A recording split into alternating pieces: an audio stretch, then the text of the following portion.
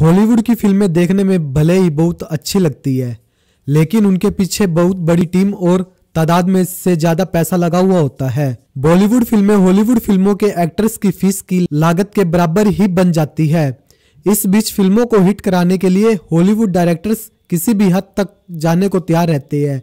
ऐसे में बात करेंगे उन पाँच हॉलीवुड फ़िल्मों की जो अब तक की सबसे ज़्यादा लागत से बनी है। नंबर एक इसी कड़ी में सबसे पहले बात करेंगे साल 2010 में आई एनिमेटेड फ़िल्म टैगलैंड की। यह फ़िल्म पूरी तरह से एक कार्टून फ़िल्म है, जो आपको आपके बचपन की यादों को ताज़ा कर देती है।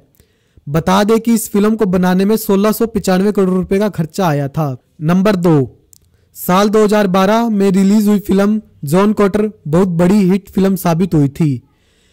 फ़िल्म में मंगल ग्रह बनाने में करोड़ों रुपए का खर्चा आया था। यह फ़िल्म 1720 करोड़ रुपए में जाकर तैयार हुई थी। इस फ़िल्म में एक से एक स्पेशल इफ़ेक्ट का इस्तेमाल किया गया है। नंबर तीन, पूरी तरह से एक्शन फ़िल्म एवेंजर्स में कई कार और सेट्स को तोड़ते हुए दिखाया गया है। ऐसे में निर्माता ने जी भरकर इस फ़िल्म पर पैसा भाया बता दें कि फ़िल्म को बनाने में अठारह सौ पचासी करोड़ रुपए की लागत आई थी।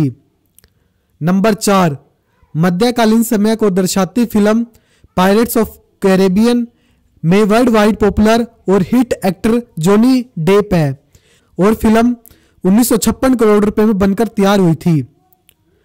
नंबर पाँच, वही चार साल बाद 2011 में फ़िल्म पायरेट्स ऑफ़ कैरेबियन का दूसरा भाग Pirates of Caribbean on stranger sites release हुआ था।